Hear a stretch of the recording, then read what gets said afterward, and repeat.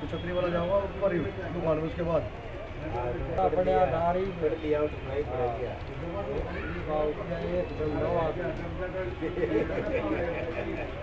कुत्ती डर के मार गया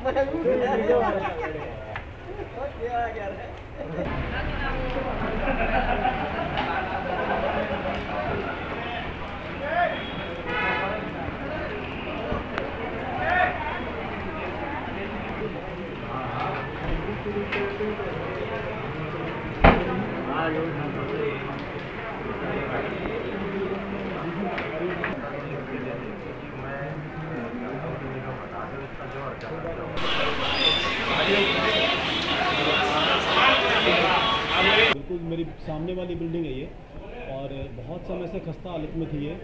कई बार मकान मालिकों को जानकारी भी दी इसके बारे में कि इसको गिरवा दिया जाए। किसी भी प्रकार की जान या माल की हानि हो सकती थी। भगवान का कृपा रही कि किसी की जान की हानि नहीं हुई। एक मोटरसाइकिल और एक साइकिल ज़रूर इसमें दबी है, बाकी सब कुछ बचाव हो गया है।